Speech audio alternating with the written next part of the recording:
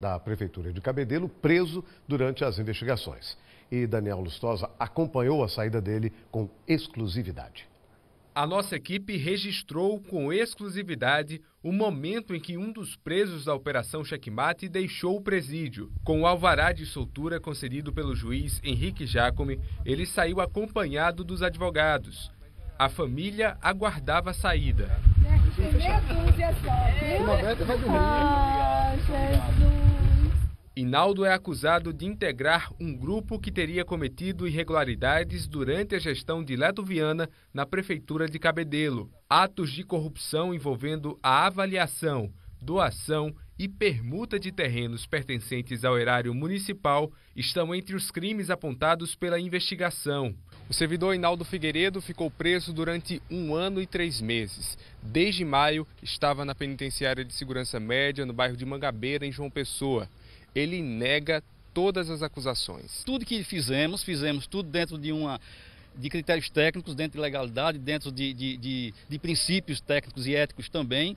E assim eu, eu confirmo e afirmo até o fim dessa jornada. Inaldo também é suplente de vereador e teve uma votação suficiente para assumir uma das vagas deixadas pelos afastados da Operação Checkmate. Mas apesar da soltura, as medidas cautelares impostas pela Justiça impedem que ele tome posse na Câmara ou volte ao quadro da Prefeitura de Cabedelo. Dia 9 continua a instrução processual. O Inaldo foi um primeiro a ser ouvido em, em juízo.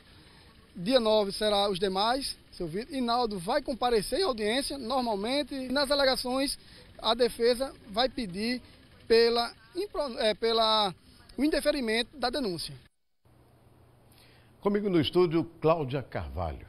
E eu vou perguntar para ela o seguinte: o dia foi bastante movimentado, né? Tá em Cabedelo, principalmente, além do país também. Boa noite, Cláudia. Boa noite, Aldo. Boa noite a você que acompanha o Tambaú Notícias. Pois é, além dessa movimentação em Cabedelo, também teve uma, uma outra movimentação em Santa Rita, mas a gente fala sobre isso daqui a pouco. Em Cabedelo, vale ressaltar que o ex-prefeito eh, Leto Viana, ele esteve na audiência usando um colete à prova de balas. E durante, hoje, durante o depoimento que prestou o ex-vereador Lucas Santino, que é o delator desse esquema, ele disse que chegou a levar 100 mil reais para dois vereadores, Antônio Moacir e também para o Técio Dornelas.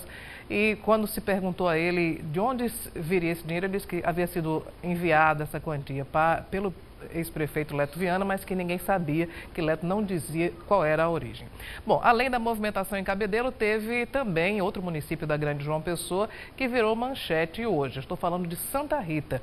Pela manhã, o vereador Cícero Medeiros foi eleito como novo presidente da Câmara Municipal para substituir Gustavo Santos. Gustavo havia sido afastado na sexta-feira passada depois de uma denúncia de fraude na eleição para a mesa diretora. Pois bem, hoje o vereador Bastinho do PT recorreu à justiça para questionar questionar a eleição de Cícero, que houve pela manhã.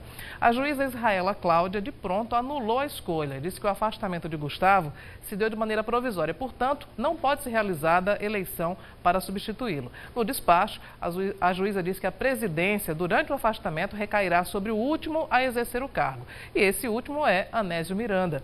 Mas parte dos vereadores questiona a decisão judicial e diz que, segundo o regimento interno, quem deve ascender é o vice. E o vice é Josa da Galera tal. Bom, o Tribunal de Justiça decidiu deslocar do município de Queimadas, da comarca de Queimadas, aliás, para Campina Grande, o julgamento dos acusados da morte de Sebastião Ribeiro Coutinho. Esse crime aconteceu em 2013 e a família diz que teria sido cometido por motivação política, já que Sebastião havia trabalhado para políticos da cidade de Queimadas.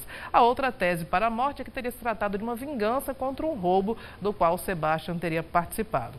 José Ailton Soares e Jamerson Souza Silva são apontados como responsáveis por esse homicídio alto. Ok, muito bem, Cláudio. Em instantes, Botafogo.